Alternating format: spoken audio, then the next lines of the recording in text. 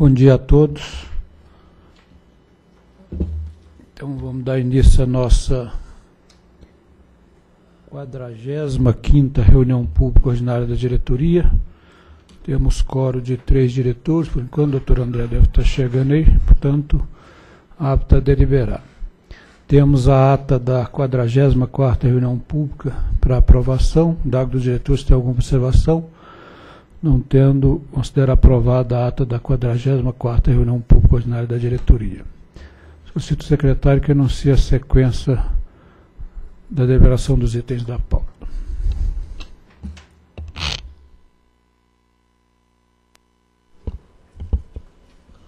Bom, então a sequência da pauta que foi aprovada pelo diretor-geral é dos itens 1, 2, 3, 4 e na sequência os itens 14, 20, 23, 24, 26, 27, 28, 29, 30 e 31.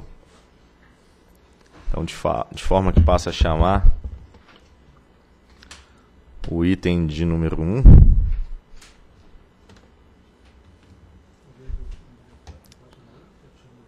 Então, invertendo aqui, passo a chamar o item de número 2, é o processo 48.500, 235, 2013, 10 e 2318, 2013, 43. Resultado da terceira revisão tarifária periódica da Companhia de Eletricidade do Acre, a vigorar a partir de 30 de novembro de 2013, e estabelecimento dos limites dos indicadores de continuidade de duração equivalente de interrupção por unidade consumidora, de frequência equivalente de interrupção por unidade consumidora dos conjuntos da referida concessionária para o período de 2014 a 2017. Diretor relator, doutor Romeu Donizete Rufino. Contrato de concessão 06-2001, que regula a exploração de serviço público de distribuição de energia elétrica na área de concessão da Companhia de Eletricidade do Acre, Eletroacre, define a data de 30 de novembro de 2013 para a realização da terceira revisão tarifária periódica. A metodologia do processo de revisão do terceiro ciclo está disposto aí nos modos do PRORET. Por sua vez, procedimento para definição dos limites de continuidade estão lá no DECFEC, previsto no PRODIST. Em 27 de agosto de 2013, a diretoria da ANEL decidiu realizar no período de 29 de agosto a 2 de outubro de 2013 audiência pública 96, com o objetivo de discutir com a sociedade a proposta de revisão tarifária e de estabelecimento dos limites de indicadores de continuidade e frequência das interrupções, ECFEC. Finalizada a audiência pública, a SRD emitiu a nota técnica 230 com os limites de indicadores da ECFEC a serem submetidos à aprovação da diretoria colegiada. Por sua vez, a SRE apresentou em 19 de novembro de 2013, por meio também de nota técnica, a proposta de revisão tarifária da Eletroacre. É o relatório, Procuradoria.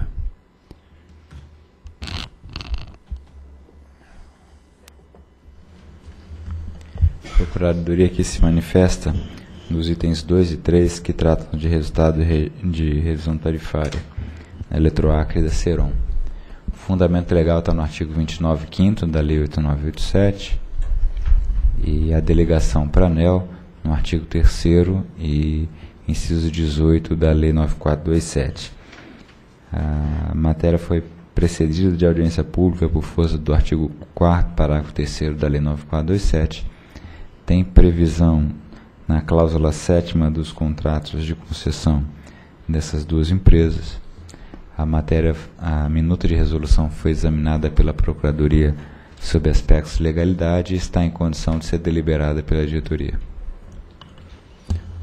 Então, conforme detalhado nas notas técnicas já mencionadas, 495 da SRE, a, revisão tarifária da Eletroa conduz a um efeito tarifário médio para os consumidores cativos da distribuidora de 10,73% na data de aniversário, que é 30 de novembro de 2013. Vale ressaltar que a revisão tarifária é feita a partir dos resultados da revisão tarifária extraordinária, que já foi realizada em fevereiro deste ano. o reposicionamento tarifário calculado foi de menos 5,88%. Ao reposicionamento tarifário foram adicionados os componentes financeiros que correspondem a 16,63% e foram subtraídos os componentes financeiros incluídos no reajuste tarifário anterior, que corresponde a 0,02%. Então, essa movimentação tarifária combinada que conduz ao efeito de 10,73%. Esse financeiro de 16,63, importante ressalvar, positivo, é em função do diferimento de parte do reajuste que foi é, apurado pela metodologia no ano passado, em função do tamanho do impacto no processo tarifário. E tendo presente que no ano 2013 seria a revisão, que leva é, normalmente a um reposicionamento negativo da tarifa, como de fato confirmou aqui, então deslocou parte desse efeito para esse processo deste ano. Por isso que tem um financeiro tão grande, suficiente inclusive para reverter o sinal do processo de revisão tarifária. Então, na verdade, foi atenuado o processo do ano passado e esse ano, então, está sendo impactado o processo em função disso. A tabela a seguir sintetiza o efeito médio por subgrupo e classe tarifária. Então, o consumidor atendido em alta tensão perceberá uma redução de 4,68 e o atendido em baixa tensão um aumento de 14,68. Repito, em função basicamente do diferimento, basicamente não, integralmente do diferimento do processo do ano anterior. O efeito tarifário que será percebido por cada consumidor dependerá de, sua, de seu nível de tensão, modalidade tarifária, classe de consumo e de seu perfil de consumo.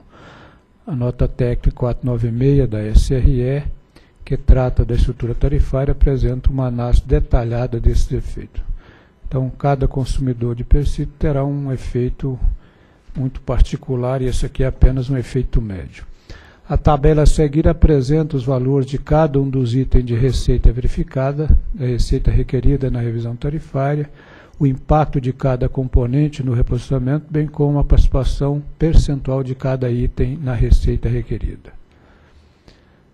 Então é aquela tabela tradicional que dá para perceber na antepenúltima é, coluna que o conjunto dos encargos setoriais teve um impacto muito pequeno, 0,23, aliás, como tem sido nos diversos processos tarifários deste ano. A transmissão também é um efeito pequeno, 0,14. A parcela A, por razões que à frente, mais à frente eu vou comentar, teve um efeito até negativo, de menos 3,56, incomum aos processos tarifários de um modo geral. Deste ano também, a então, o total da parcela A, um, um efeito de menos 3,19%. E o conjunto dos itens da parcela B, que é onde incide efetivamente o processo de revisão tarifária, também um efeito líquido de menos 2,69%, que conduz o reposicionamento econômico a menos 5,88%, em função daquele financeiro que eu já comentei, de 16,63%, que é, agora é, considera no processo tarifário, o do ano passado, que é muito pequeno, que sai, o 0,02, aqui leva ao efeito de 10,73 já comentado. Item 13, de alguma maneira, resumo o que eu acabei de comentar. Então, com relação à parcela B, no item 14, desde a segunda revisão tarifária, o crescimento da parcela B na receita verificada foi de 44,9%, resultado alcançado pelo efeito dos reajustes da tarifa da, de parcela B, que leva em consideração a variação do GPM, reduzido o fator X, e da variação do mercado da distribuidora, aí consideradas as variações na estrutura desse mercado.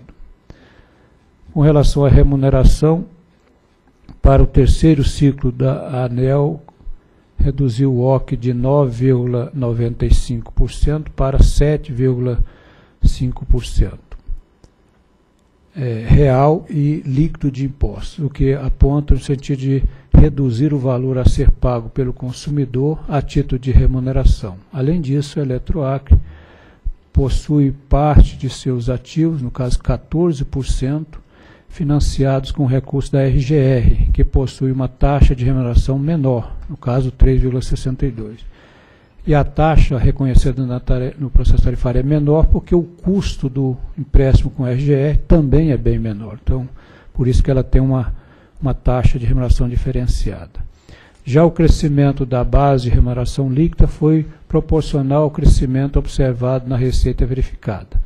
Dessa forma, o principal motivo para a redução da remuneração foi a queda do OC à figura a seguir, que na verdade tem um problema de vínculo aqui que ela não está apresentando, mas a figura apenas demonstra de forma gráfica o que eu expliquei no item 15, ou seja, um menor impacto da remuneração do capital em função das características que eu comentei, especialmente a redução do, do OC.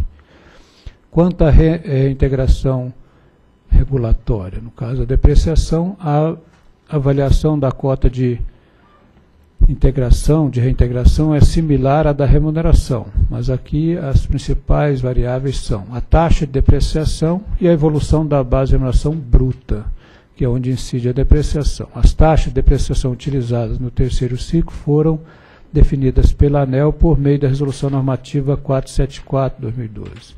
Em média, as taxas foram reduzidas, ou seja, o consumidor passa a recompor o capital das distribuidoras num prazo mais longo, o que favorece a redução das tarifas. A variação da taxa de depreciação com relação à última revisão tarifária foi de 6,5% negativo, ou seja, as taxas em médias estão menores no terceiro ciclo do que no segundo, em 6,5%, passando de uma taxa média de 4,01% para 3,75%. Embora a base de remuneração bruta tenha crescido, sua evolução se deu abaixo do crescimento observado da receita verificada. O efeito combinado da redução da taxa com um crescimento da base de remuneração bruta abaixo da evolução da receita verificada, leva à redução do valor a ser pago pelo consumidor a título de cota de reintegração regulatória. Também foi, que está demonstrado, foi já comentado lá no, no gráfico, que realmente o, tamanho do valor da, reconhecido como depreciação no componente da tarifa é menor do que o segundo ciclo, pelas razões já comentadas. Outro ponto importante são os custos operacionais. Então, a receita requerida dos custos operacionais, conforme disposto no submodo 2.2 do PRORET, depende essencialmente da evolução do IPCA e do IGPM, da produtividade média definida e do crescimento dos produtos, no caso, redes, unidades consumidoras e mercado. A principal razão para que os custos operacionais estejam contribuindo no sentido de elevar a tarifa da Eletroac deve-se ao fato do crescimento dos produtos utilizados na atualização dos custos operacionais, mencionado anteriormente, principalmente redes e unidades consumidoras, ter sido superior à variação da parcela B decorrente do crescimento do mercado. Cabe destacar que os ativos, em particular a rede da distribuidora, cresceram a uma taxa superior ao crescimento da parcela B, mas esse crescimento não impactou a base de remuneração, porque foi, em grande medida, financiado com as chamadas obrigações especiais, que não é objeto de remuneração no processo tarifário. A produtividade utilizada na atualização dos custos operacionais do segundo ciclo ter sido menor do que o fator X, é outra razão, definido naquela oportunidade. Para definição do nível regulatório de custos operacionais, é deduzida a produtividade de 0,782% ao ano, sendo que o fator X utilizado nos reajustes da Eletroac para a correção dos valores da parcela B foi maior, em média 3,58% ao ano. E a figura a seguir também demonstra isso que eu acabei de comentar. O outro bloco que tem um impacto importante no processo é a parcela A. O impacto mais relevante da parcela A se deve à compra de energia. A figura seguinte apresenta a variação do montante do preço médio por tipo de contrato entre a RTE, a revisão tarifária extraordinária, e a revisão tarifária em discussão.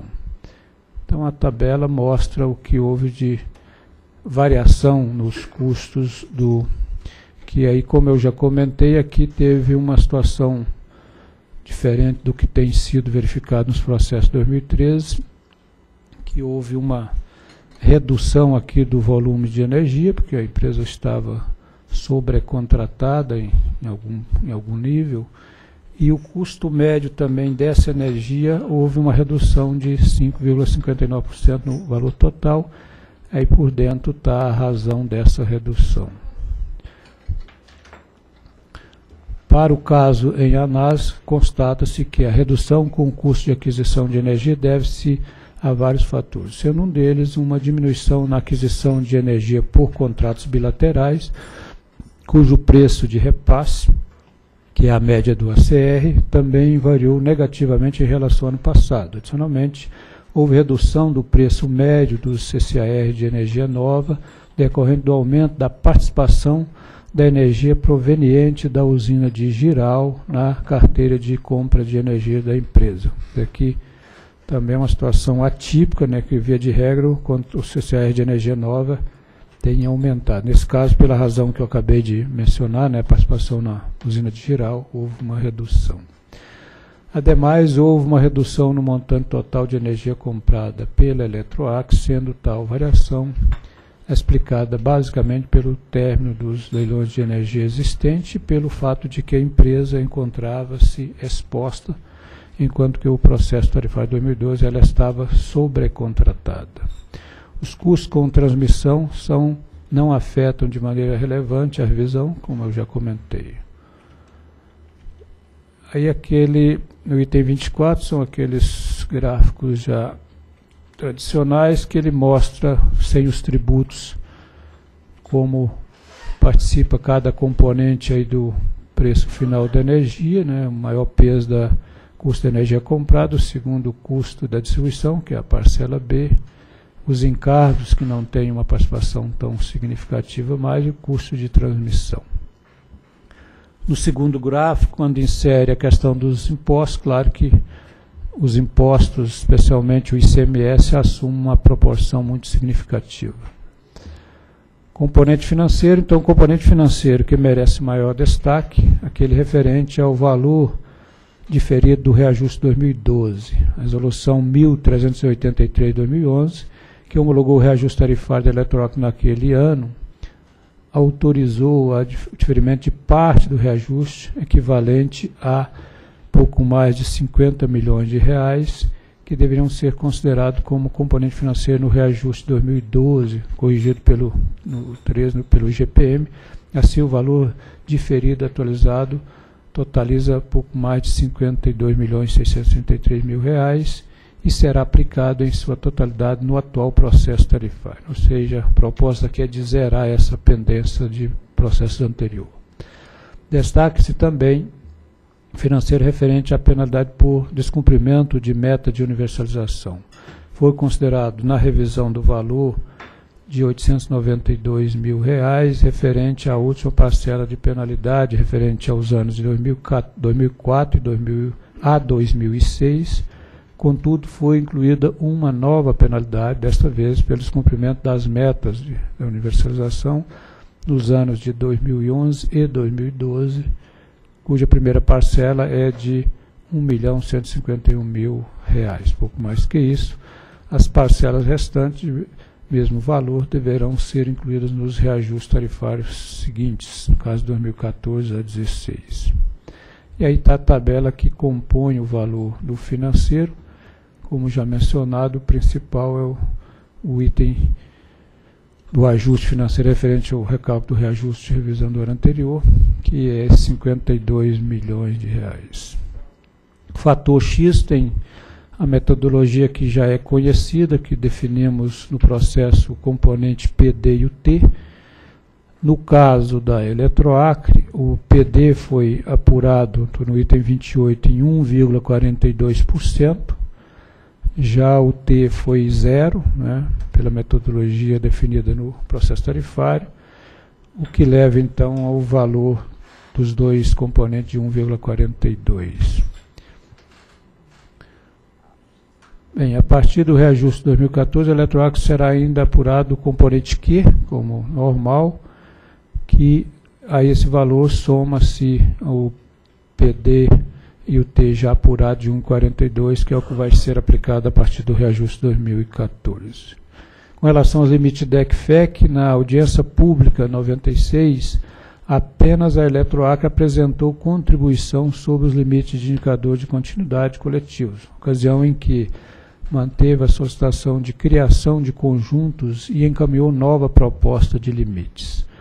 O pleito de criação de conjuntos da Eletroacre não foi acatado devido à previsão de entrada em operação das novas subestações ser apenas em 2015. Nesse caso, a criação dos conjuntos deve ser realizada na próxima revisão tarifária da distribuidora, que será em 2017.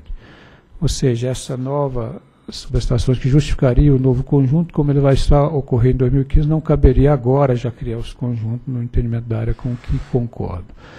Eletroac solicitou a revisão dos seus limites, alegando particularmente de, é, particularidade de sua área de concessão e a inviabilidade de atendimento aos padrões de continuidade propostos na audiência pública 96. Nesse sentido, a SRD, ao analisar as trajetórias de redução dos limites propostos na audiência pública, identificou o conjunto com quedas consideradas elevadas, de até 62%, no período de 2013 a 2017.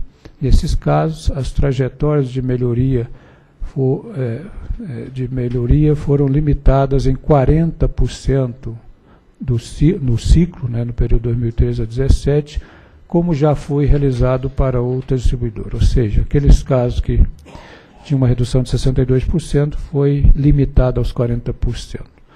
Também foram avaliados conjuntos com participação no suprimento excessivamente alto em relação aos indicadores apurados. Dessa forma, foram estabelecidos limites mais adequados para o conjunto com elevada participação do suprimento, de acordo com o histórico de apuração e os limites já estabelecidos para o ano de 2013. Aí tem no item 17 uma tabela que relaciona todos os conjuntos, os limites de DEC, FEC e no, no horizonte de 2014 a 2017. Na sequência, no item 38, tem a figura, que é mais ilustrativa, que mostra para o período já até 2013, o que está nas barras é o que foi efetivamente apurado, tanto DEC como FEC, e, o, e, a, e a linha aí é o, que, o limite estabelecido no processo tarifário. Portanto, aqui, certamente, a Eletroac tem um, um grande desafio de trazer o apurado para dentro dos limites estabelecidos.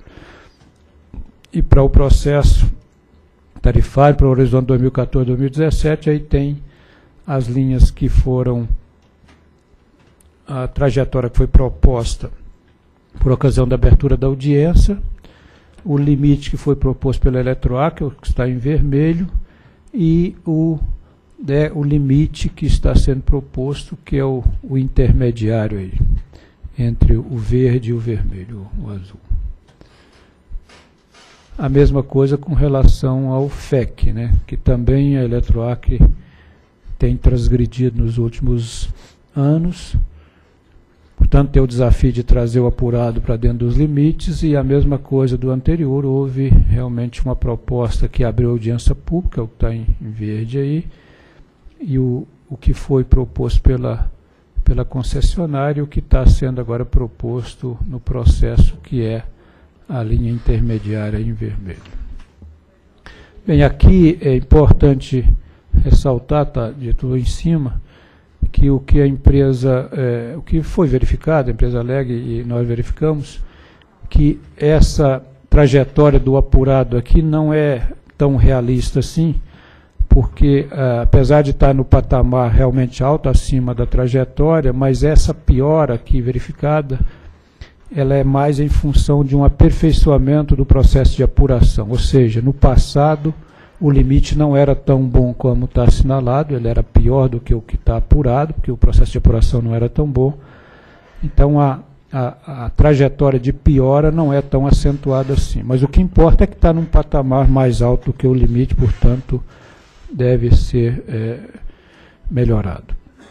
Passo então ao dispositivo, então do exposto que consta dos processos mencionados, voto pela emissão de resolução com o objetivo de homologar o resultado da terceira revisão tarifária periódica da Eletroac, a vigorar a partir de 30 de novembro de 2013, que representa um efeito tarifário médio para o consumidor de 10,73%, sendo composto pelo reposicionamento tarifário econômico de menos 5,88%, e os financeiros já mencionados de 16,63%, referente ao processo tarifário de anos anteriores, 0,02% que retira do processo anterior. Estabelecer o valor dos componentes PD e T do fator X em 1,42 e 0, respectivamente, ainda devendo ser somado o componente Q definido em cada processo de reajuste. Estabelecer o referencial regulatório para as perdas de energia no período, para os reajustes 2014 a 2016, conforme tabela abaixo, que no caso é a perda técnica mantém no patamar de 9,85 no período e as perdas não técnicas uma trajetória de redução de 13 no 2014 a 15, 12,14, 15, 16 e 11,28, 16 a 17. E, por último, estabelecer o limite de indicador de continuidade da ECFEC para os anos 2014 a 17. É o voto em discussão. Em votação. Voto com o relator. Voto com o relator. Também voto com o relator. Então, proclamo que a decidiu por homologar o processo de revisão tarifária do terceiro ciclo da Eletroacre, que conduz ao efeito médio para os consumidores de 10,73 e demais condições aí que acabei de relatar.